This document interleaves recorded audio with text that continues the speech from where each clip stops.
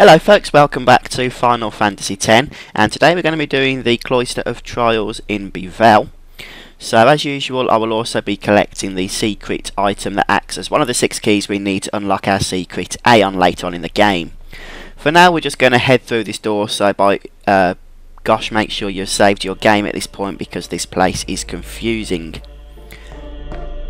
We're going to get a very very brief concept of what this uh, Trials is going to be about. We're going to need to move pedestals, which will in turn move the platforms that we are standing on.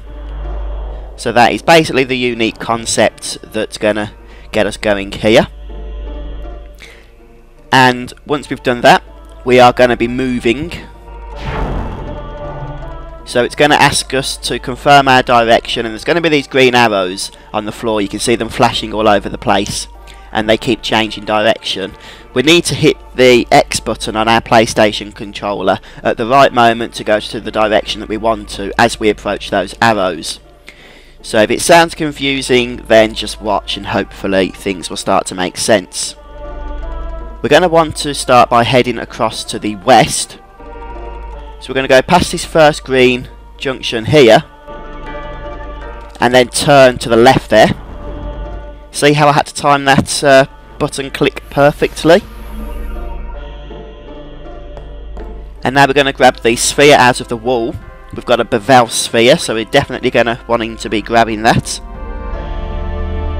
And thank you. Now we're going to push this pedestal out onto the glyph there. And what that's going to do is create a platform for us to stand on. Ah, I missed it. I was supposed to uh, go south then. Uh, which is annoying. Do we still have our sphere? Yeah, actually, you know, we do. Uh, that's it. That's what I wanted to do. It's right, I did it that time, so I wanted to show you again. And now we want to get get over onto this side, which is the eastern side of that junction. So just bear with me while I grab uh, a bit of my coffee. Trust me, you need to uh, try and stay awake while you do these. Uh, right then. So we've got our Bevelle sphere which we're going to stick into the wall here. So just in case there's any confusion, I'm in the section that's completely just opposite the side where we collected the, Bell, uh, the sphere. So still on the same level, but just on the opposite side there. Uh, right then, so where are we? So we've activated the main walkway now. Uh,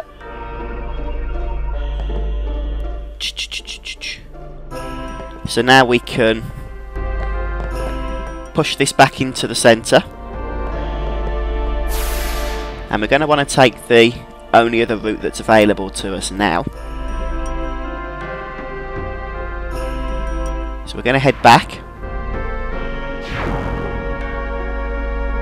We're going to go past the junction that we activated before. And we're going to head down the walkway now.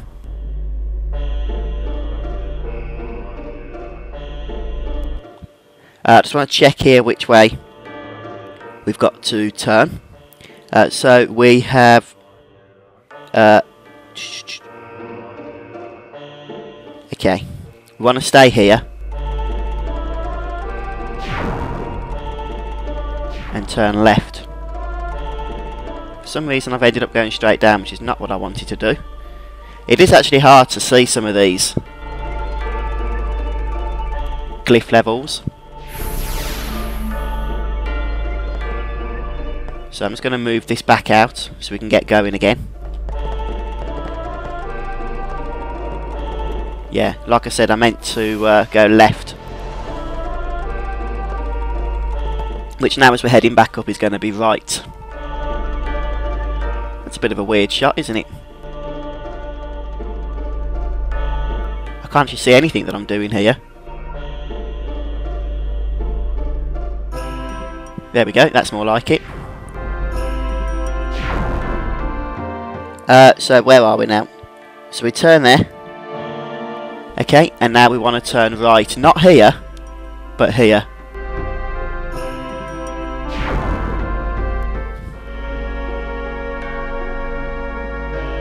If you carried on going straight, you would have just got into a circle. And there's another glyph sphere here for us to take. I say another, it's actually our first one, isn't it? So we're going to throw that into the pedestal over here on this side, since it's the empty slot. Thank you. Right, and once again we're going to create our platform.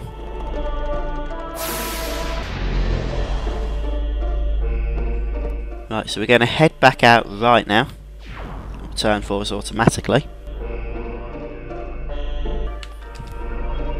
That's it. Want to go right here. And I think we're in the uh, correct place now.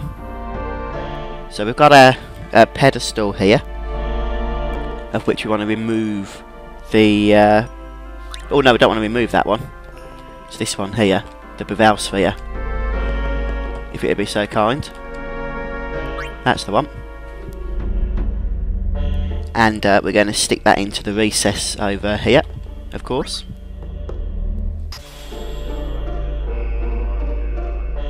And now the ground should materialise. Yep, over here to the right. Let's grab some more coffee. Mm. Uh, right. And now we're going to take the glyph sphere out.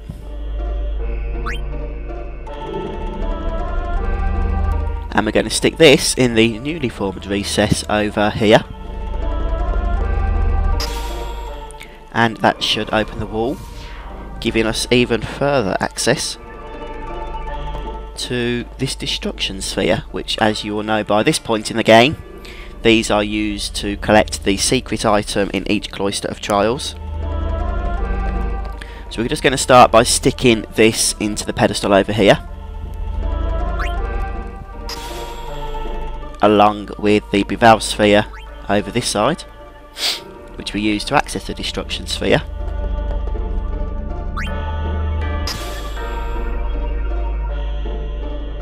And now we're going to go back to where we took the glyph sphere. That was on the kind of elongated platform, if you remember.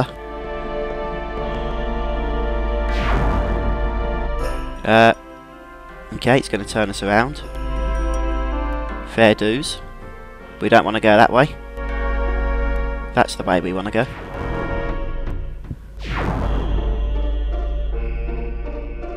Right, and now we need to time this perfectly.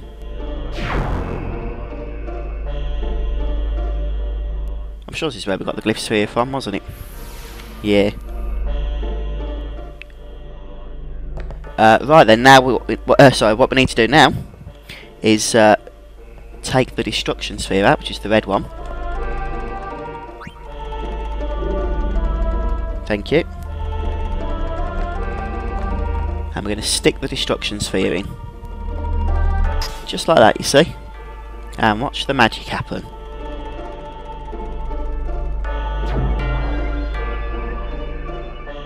Yeah, that was good, wasn't it? Uh, right. But before we do anything else now, we're going to need a second uh, Bevelle sphere. So, to get that, I, I want to make sure I get this right, you see, because you screw up here, you end up getting lost, which we don't want to do. Uh,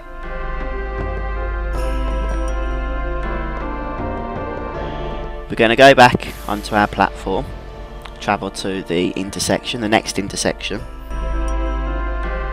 Right.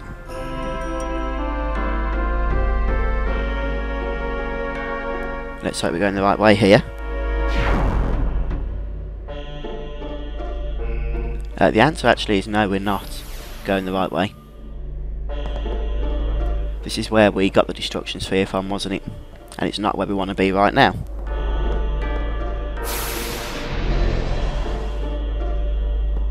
So we're going to head back on there. Looks like we're going to have to start from the beginning. Oh, no, we've gone the wrong bloody way. Oh, well. We're just going to have to come back down again, I guess. That's the problem with all these stupid arrows, isn't it?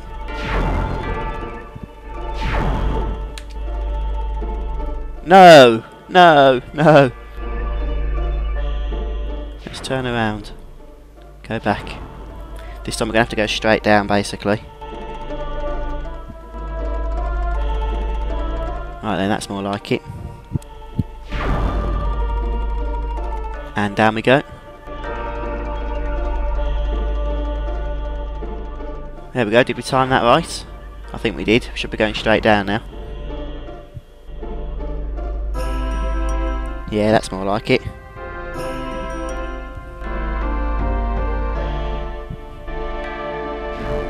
And there should be a Bevelle sphere here for us. Try and avoid the pedestal, we don't want to be going up just yet. Hey, we got the Bevelle sphere.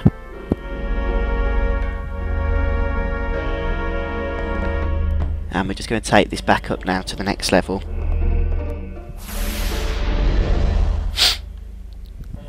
Right, come on Tidus, this is so confusing isn't it? But hopefully this is helping you.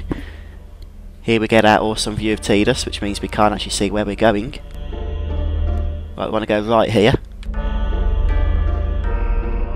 And then we're going to go right again as soon as we reach the next intersection, but this is quite fast, we're going to have to be quick here.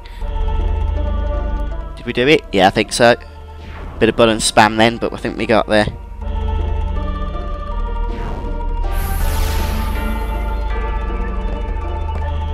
Right then. Uh, okay, there's a platform obstructing our path, but I think all we need to do is push the pedestal over and then we'll create another platform.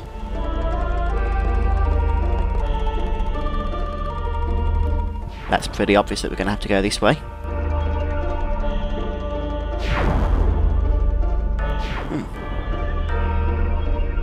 Looks like we're going up now. There's some very strange angles here, it's got to be said, isn't there? There really is. Uh, right then. So now we need to climb the stairs here. We're leaving these walkways. And we're going to enter the sphere, or insert sphere rather, just in this recess up here and over in the treasure chest on the right hand side once the game kindly gives us access to Tidus again there should be a HP sphere that was weird wasn't it? Uh, the chest just vanished leaving a glowing switch. So we're going to stand on the switch. That will make the pedestal appear.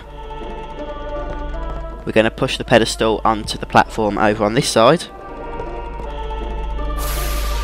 And that will take us nicely over to the chest here which is our secret chest. Uh, one of the keys to unlock Anima along with a pretty awesome weapon for Kimahri which he might want to use and with all that done and dusted we can simply head this way now I think and we will leave the trials at least that's the theory. You never know. You never know.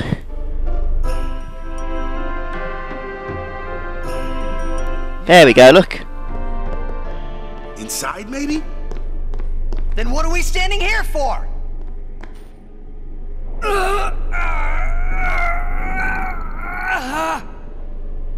Hey!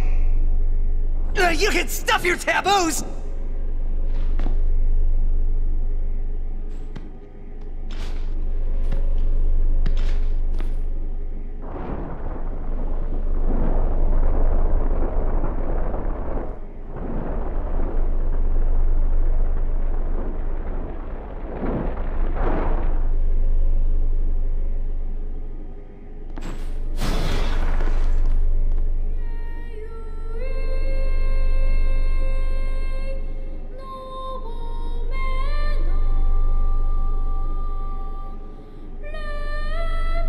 What's that?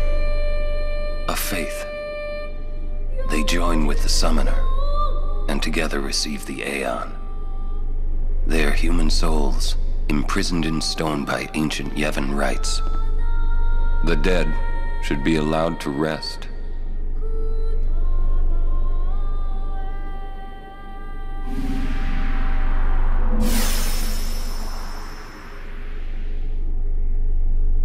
Yuna!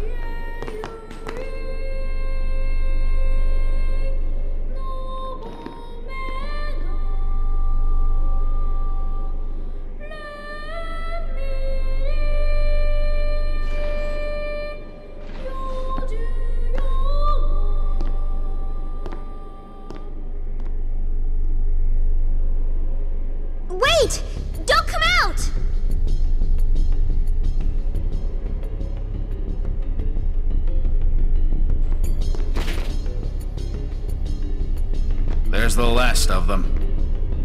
You are to stand trial. I expect it will be a fair trial. Of course it will.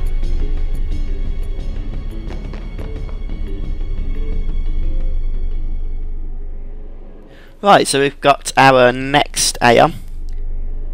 And I think, I could be wrong, but I think this is the final Aeon that you have to get as part of the story. I could be wrong on that though. Ah, no, don't screw his name up, please. Where's normal? T, there it is. Yeah, I think that's a good opportunity to save the game. As a matter of fact, folks, I think that's a good opportunity to end the episode. So things aren't looking too bright for us now that we've rescued Yuna. So I'm going to say, please join me next time and we can find out together what's going to happen. And don't forget to subscribe to the channel, post a comment, let me know what you guys thought. And if you want to, I'd really appreciate it if you would share this video with your friends. And I will see you next time, guys, for more Final Fantasy X. Bye for now.